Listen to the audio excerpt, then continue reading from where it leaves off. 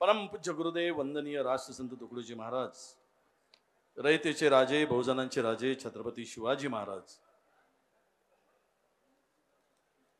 संविधान निर्माते विश्वरत्न परमपूज्य डॉक्टर बाबासाहेब आंबेडकर या महाविनवानास विनम्र अभिवादन.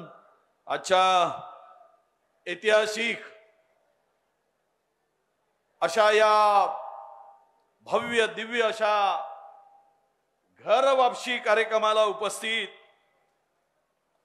महाराष्ट्राचे प्रदेशाध्यक्ष एक जुजारू नेता माननीय नानाभाऊ पटोलेजी आमचे महाराष्ट्राचे प्रभारी माननीय रमेश चन्नीताला साहेब माजी मुख्यमंत्री माननीय पृथ्वीराज बाबा चव्हाण साहेब या मंचावर उपस्थित सन्माननीय नितीन भाऊ राऊत माजी मंत्री माननीय सुनील भाऊ केदार माजी मंत्री या मंचावर उपस्थित असलेले सर्व सन्माननीय खासदार सर्व आमच्या शेजारच्या मध्य प्रदेशातून आलेल्या भूतपूर्व विधानसभा उपाध्यक्ष हिनाताई आणि आमचे जिल्हा काँग्रेसचे अध्यक्ष बनसोडजी मंचावर असलेले सर्व मान्यवर आणि गोपाल भैयाच्या घर वापशी कार्यक्रमाला आलेले माझे सर्व बांधव भगिनी आणि माझ्या मित्रांनो खर तर विधानसभेमध्ये आणि विधान परिषदेमध्ये गोपाल भैया बरोबर गेली अनेक वर्ष आम्ही काम केलं. त्यांनी दो हंसों का जोड़ा बताया सुनील भाऊ। समय आने पर अपने अपने क्षेत्र के काम के लिए तुम दोनों ही भागते थे मुझे छोड़कर। ये बहुत चालू लोग थे तुम। साथ में रहते थे, काम की बात मंत्री के तरफ़ आ गई तो ये दोनों भाग जाते थे। मुझे छोड़ देते थे और ऐसा पकड़ूँगा तुमको कि अभी तुम कभी नहीं छूटोगे, ये ताकत के साथ अभी पकड़ूँगा।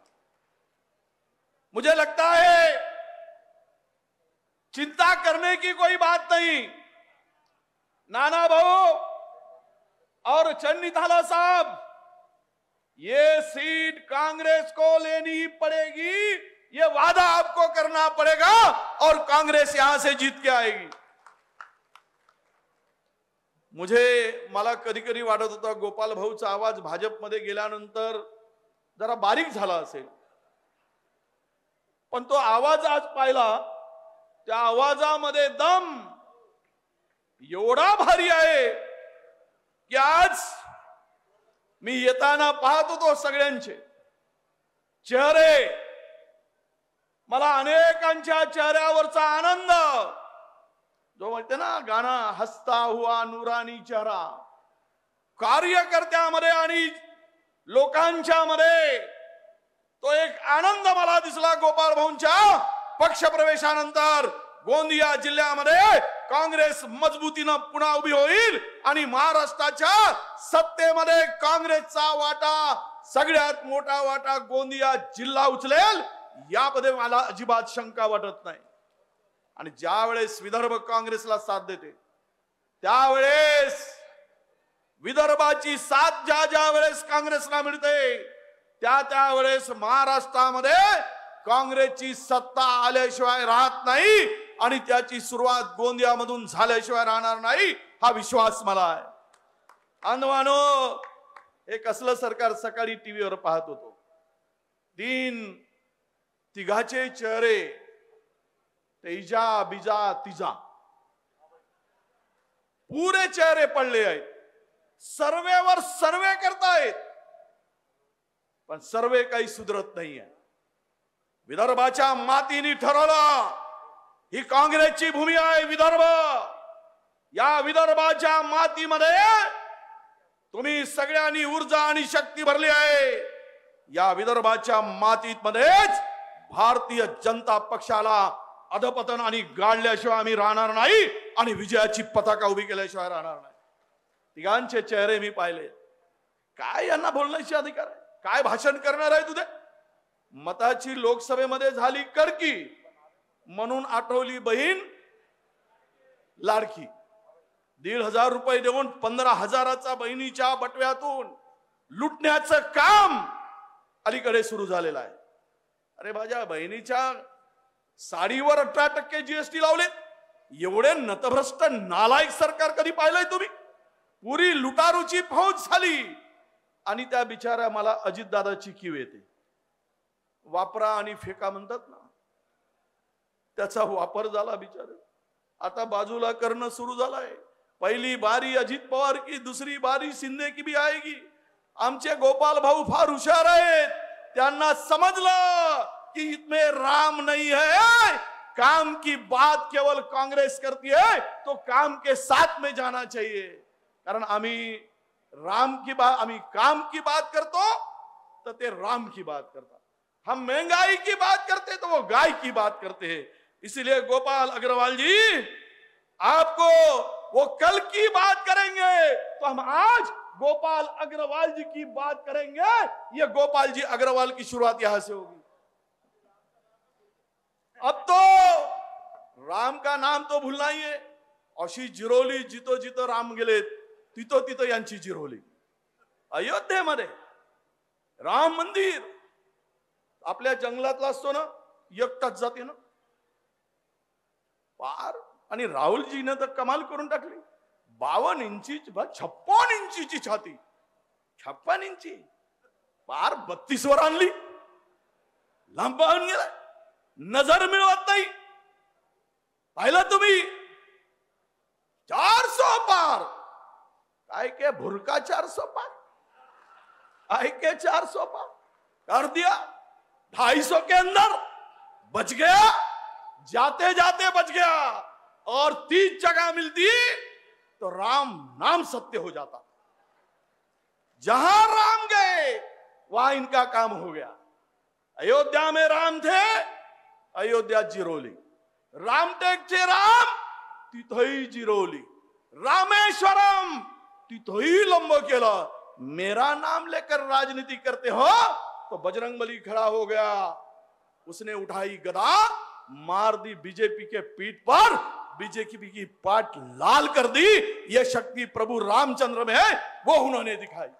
आणि म्हणून मी नाना भाऊ राम मंदिरच उभारून टाकलं मी गणपतीला. आणि तिथे रामाची मंदिरच लावून टाकली. म्हटलं राम काय तुमच्या बापाचं हो? राम राम करताय? अरे आम्ही सीताराम करतो तुम्ही राम राम करताय सीता आणि राम. राम कोणाचा? जिथे श्रद्धा आणि भक्ती आहे राजकारणासाठी राम वापरून आहे. म्हणून तुम्हा सगळ्यांना माझी विनंती आहे मी. मला वेळेचं बंधन दिलाय. आणि पुढचं सांगतो मी. पुढची विधानसभेमध्ये कोणत्याही परिस्थितीमध्ये महाराष्ट्रातलं चित्र बदललं आहे पूर्ण चित्र बदललं आहे अधिक बोलण्याची गरज नाही. महाराष्ट्रामध्ये महाविकास आघाडीची सत्ता येणार. शेख काळ्या दगडावरची पांढरी रेघ आहे. कितीही प्रयास करू देत त्या नागपूरवाल्याला कायदा सुव्यवस्थेचे धिनवडे काढलेत. पुरी उद्ध्वस्त केली. रोज महिलावर अत्याचार. रोज पाच महिला बळी पडतायत. कायदा सुव्यवस्थेमध्ये रोज खून या राज्यामध्ये होत आहेत हा राज्य महाराष्ट्र एक नंबरवरचा राज्य होता. या राज्याला अकरा नंबरवर नेऊन ठेवण्याचं पाप या शिंदे आणि भाजपच्या सरकारने केलेलं आहे. महाराष्ट्र उद्ध्वस्त केलेला आहे. लाखो करोडोच्या जमिनी अदानीच्या खशात घातल्या. महाराष्ट्राचं स्वाभिमान गुजरातला गाण ठेवलाय. महाराष्ट्राचे उद्योग गुजरातमध्ये पळून ठेवलेत. सर्व उद्योग गेलेत. बेरोजगारांवर मोठं संकट या महाराष्ट्रामध्ये आणून ठेवलंय. संपूर्ण चारही बाजूनं. म्हणून तुम्ही चिंता करू नका. फक्त एवढंच सांगतो मी चन्नीताला साहेबांना आणि नाना भाऊंना जेवढ्या राहुलजींच्या सभा जेवढे आम्हाला प्रियंकाजींच्या सभा अधिकाधिक सभा लावा काँग्रेस शंभरच्या पार गेल्याशिवाय राहणार नाही हा विश्वास आम्ही तुम्हाला देतोय. अधिकाधिक द्या वेळ मागून घ्या आपण. जिकडे जातो तिकडे काँग्रेसमय वातावरण आहे. आणि हे भाजपवाले हे शिंदेवाले हे अजित पवार हे काय बोलू शकतील हो? हे? काय बोलण्याची ताकद आहे? काल पाहिला तुम्ही? शेतकरी परेशान आहे मी आज कलेक्टर. आणि सिओनच्या बैठकीत घेऊन आलो मी आल्या आल्या. इथे झालेल्या नुकसानीचा आढावा घेतला. मागील वर्षीचे पैसे अद्याप मिळाले नाहीत. फक्त नऊ कोटी रुपये पीक विमा पोटी या राज- जिल्ह्याला मिळाले. फक्त नऊ कोटी रुपये.